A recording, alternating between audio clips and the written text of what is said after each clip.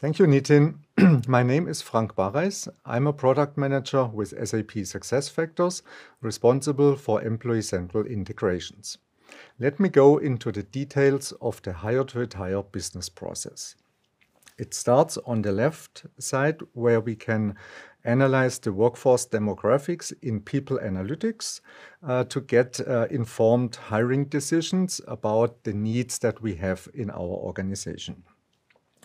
From that, we uh, request the job requisition um, and submit it in the end, and now we start the recruiting part of the hire-to-retire process. So this is where the job is posted. We screen and interview the candidates.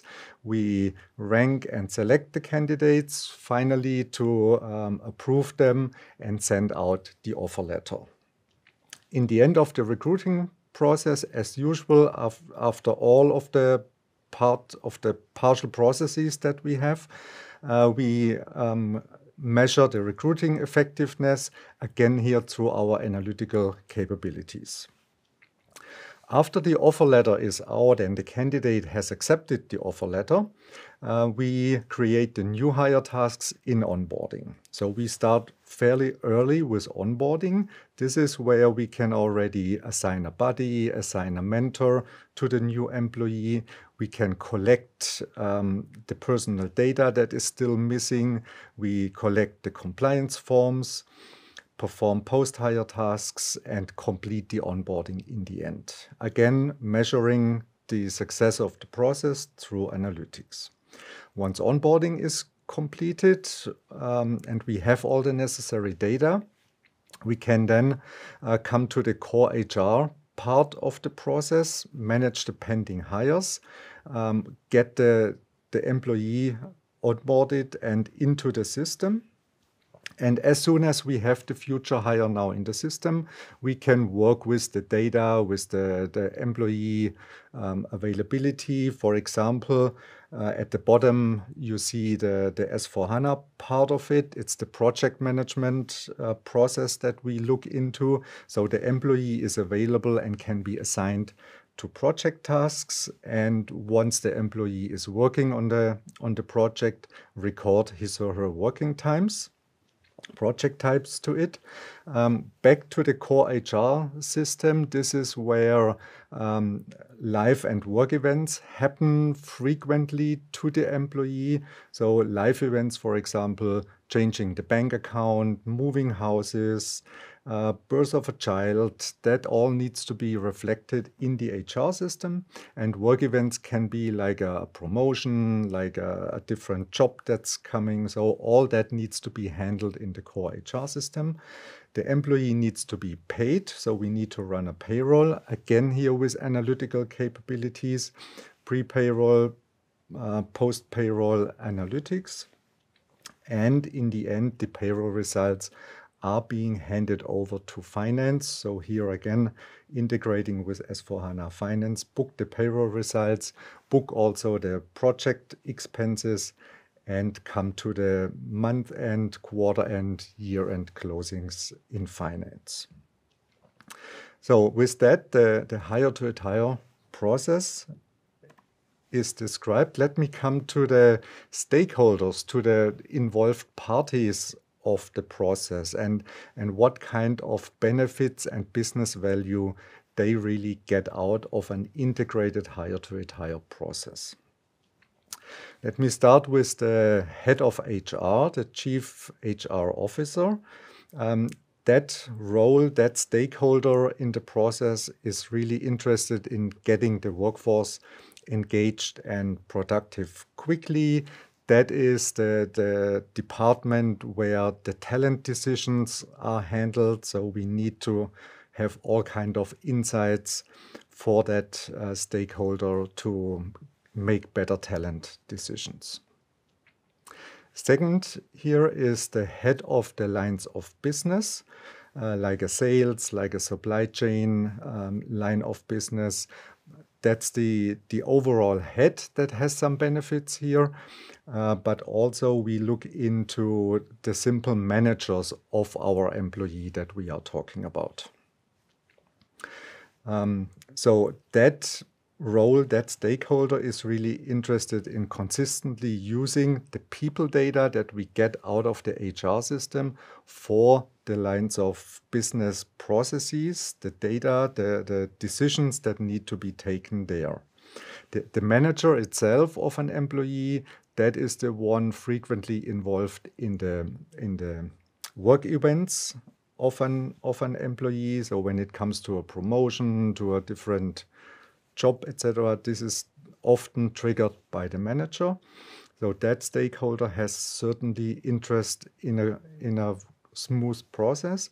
The internal worker, then um, that that is the person that we have hired, onboarded, that is assigned to the projects. Here we need need to be sure to have a fast and efficient onboarding, a very good user experience for that employee because the, the HR tasks are not the daily work basically. So it's e infrequent usage of the system. And that's the, the key benefits, the value for that stakeholder. Coming to the right side, uh, finance, the chief finance officer, of course, is interested in the workforce costs, risks, performance. So gain visibility into that, but also collaborate closely with the um, HR, with the head of HR uh, to get the company goals achieved. On the right side, we have the CIO of the company, um, very, very interested in minimizing the integration costs. That can be very costly um, if not well integrated. So that is a, a, key benefit for the CIO, but also um, security and access to the systems is of very crucial interest of that CIO. All right, now let uh, with that, let me hand over to Mike to share the details about the external workforce management process. Thank you, Frank. My name is Mike Ewell, and I'm from SAP Fieldglass within the product development, and I'm going to talk about uh, how the external workforce and your external labor relates to your recruit to retire scenario.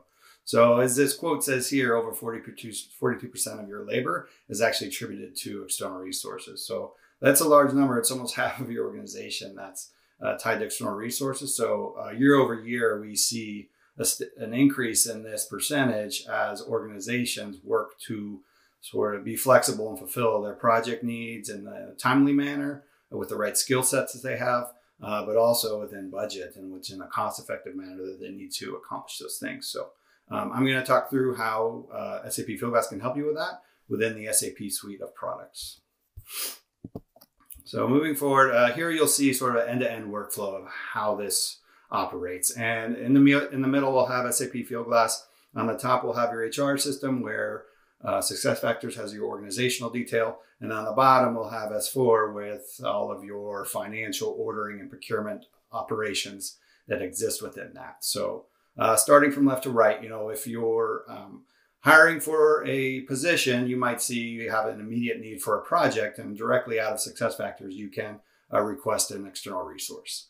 That'll initiate that request to Fieldglass. That will initiate a job posting that will go out to their staffing suppliers, your preferred suppliers, and ultimately uh, go to that pool of labor that you have that an extended pool of labor that ultimately can meet those needs and has the skills that you uh, need to acquire in order to complete your project. Um, so um, upon selection of those candidates, it will basically solidify the staffing of that and create a work order in Fieldglass. And uh, from here, we'll move from the recruiting side to the order management. And that order management will initiate a purchase requisition and purchase order to S4 in order to make sure that the cost of the time of that project for the labor that you've hired is within the budget and approval of the financials that you need. So all of these integrations exist between Fieldglass and S4 in order to ensure that the projects that you're staffing for are within the financial controls that you want to operate within. So, um, and in parallel, while this is happening, um, so once that budget is approved, uh, it was released in the middle here to uh, the worker to start their work. Uh, so they will start their assignments once that budget is approved. And it'll also be visible into your overall employee org chart. So as a manager, you'll be able to see these are all the full-time employees I have, these are all the contractors I have, and external resources I have working on projects. So you will have full visibility into that um, from an org chart perspective and also from a financial perspective.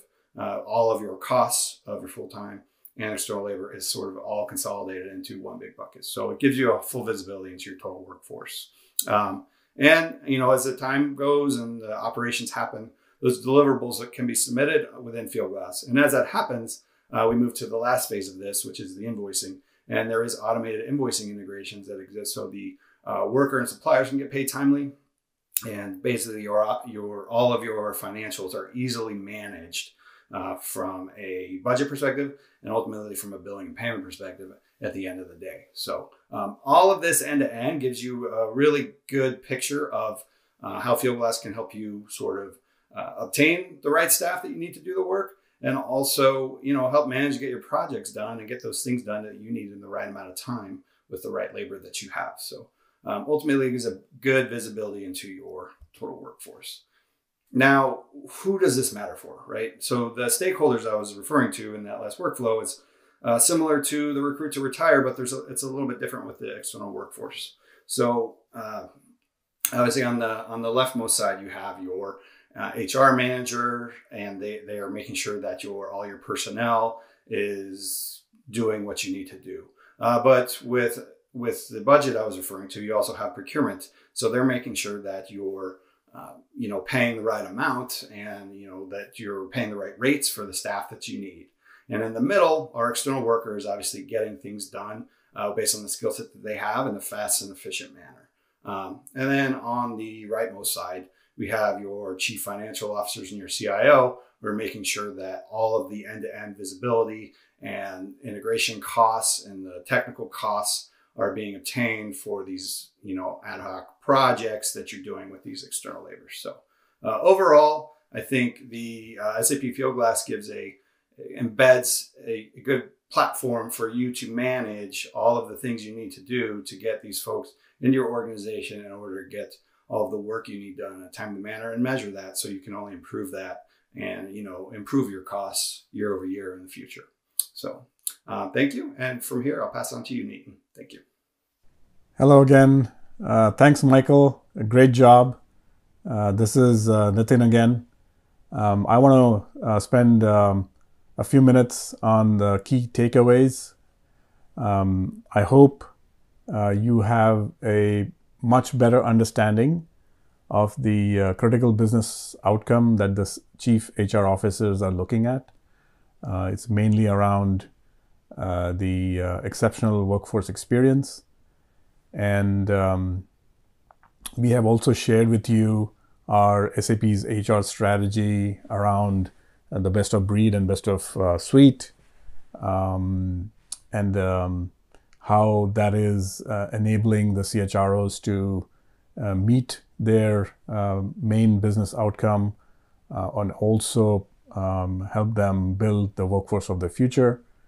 Um, we then also spend some time talking about uh, the SAP uh, BTP and the services that we have built uh, on it, as well as the suite qualities as to how they are helping uh, ensure um, the interoperability of all the different um, uh, best of breed applications, but at the same time uh, making sure that the recruit to retire business process runs smoothly across the uh, intelligence suite. And then um, we also um, spent some time uh, talking about uh, the two uh, main uh, processes, uh, or two of the three processes within Recruit to Retire, which is the um, hire to retire process as well as the external workforce process. And um, both Frank and Michael walked you through it and um, also importantly talked about the business value uh, that uh, these end-to-end uh, smooth running uh, business processes can uh, deliver to our customers. Um, now, I also uh, have prepared um, in terms of how to get started. we have um, provided you with links um, the first one here is the SAP's integration strategy paper. This is uh, essentially written by our board members Uh, we update these um, every uh, five, six months or so. Uh, the link uh, I have uh, provided is the latest one that just came out in November. So you can take a look at that. and um, we have some really good information in there. we have um, we have already done two uh, hire to retire um, open SAP courses uh, where we have sh- uh, shared our strategy and all the innovations that we are bringing. Uh, so um, I think we have somewhere between uh, 18 to 20,000 people already attend.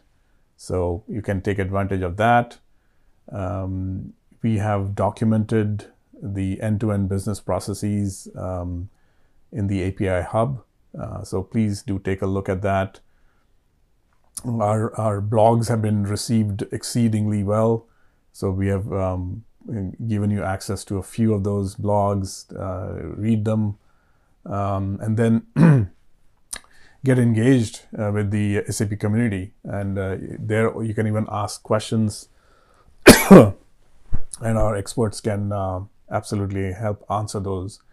Um, and while you're preparing, while you're doing your homework, uh, we also would love to have a conversation with you guys so um, if if you have if you're ready um, or just ha- wanting to have conversations with SAP, uh, please do get in touch with your SAP account executive, and we'll be happy to um, work with you guys and uh, hopefully cut a path uh, to becoming an intelligent enterprise. Uh, with that, uh, thank you very much for your attention, and uh, we will see you in the next unit where uh, we'll um, have a couple of demos to show.